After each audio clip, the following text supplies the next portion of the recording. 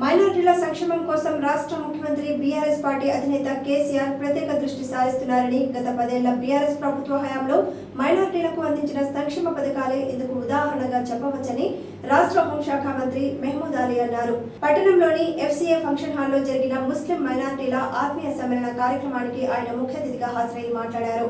మైనార్టీల పిల్లల కోసం మైనార్టీ గురుకులను ప్రారంభించి నాణ్యమైన విద్యను అందించడం జరిగిందని రిజర్వేషన్ ప్రాతిపదికన వేలాది మంది నిరుపేద మైనారిటీ విద్యార్థులకు ఎంబీబీఎస్ ఇంజనీరింగ్ కళాశాలలో సీట్లు కేటాయించడం జరిగిందని అన్నారు.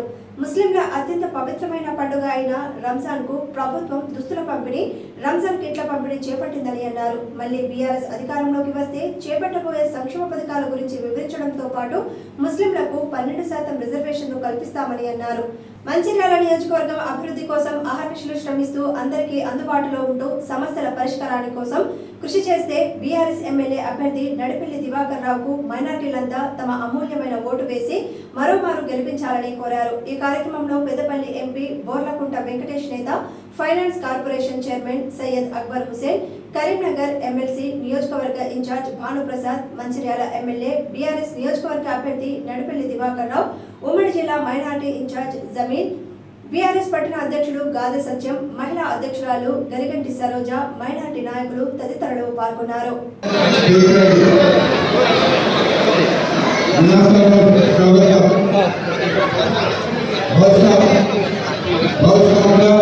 और मिला के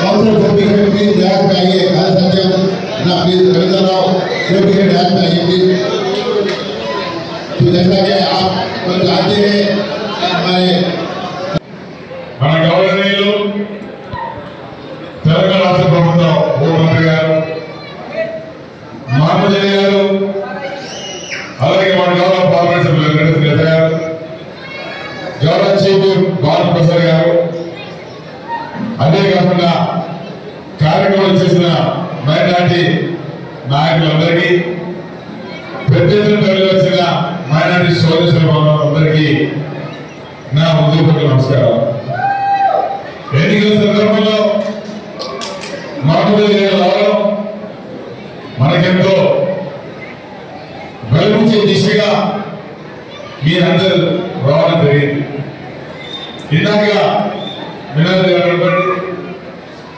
ఎన్నో విషయాలు చెప్పిన సందర్భాలు ఈరోజు రెండు వేల పద్నాలుగులో ఆనాడు జరిగిన ఎన్నికల్లో తెలంగాణ గడ్డ మీద పుట్టినటువంటి బిడ్డ ముఖ్యమైన నాయకుడు తెలంగాణ ఇతర నాయకుడు ఈ రాష్ట్రానికి ముఖ్యమంత్రి అయితే బాగుంటుందని ఆలోచనతో పెద్ద ఎత్తున తెలంగాణ గడువు పెట్టినటువంటి బిడ్డ ఉండడం జరిగింది ఆనాడు రాష్ట్రంలో గౌరవ ముఖ్యమంత్రి కేసీఆర్ గారు ముఖ్యమంత్రి పదవి చేపట్టిన తర్వాత ఒకసారి మనం ఆలోచిస్తే గతంలో రెండు వేల పద్నాలుగు ప్రభుత్వాలు రెండు వేల పద్నాలుగు తర్వాత ఏర్పడిన ప్రభుత్వాలు రెండు దఫాలుగా ముఖ్యమంత్రి అవకాశం ఇచ్చారు.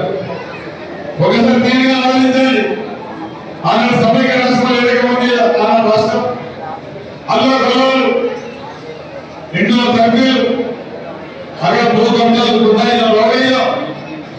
ఆనాడు రాష్ట్రం బాగుపడలేదు సమైక్య రాష్ట్రం.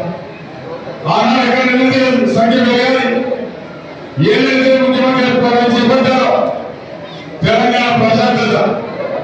తెలంగాణతో ప్రజలు ఉండే కాకుండా పద్నాలుగు చెప్పినాక ఒక చిన్న అలం ఆ ప్రశాంతత కాకుండా భారతదేశం ఏకైక ముఖ్యమంత్రి గౌరవ కేసీఆర్ గారు.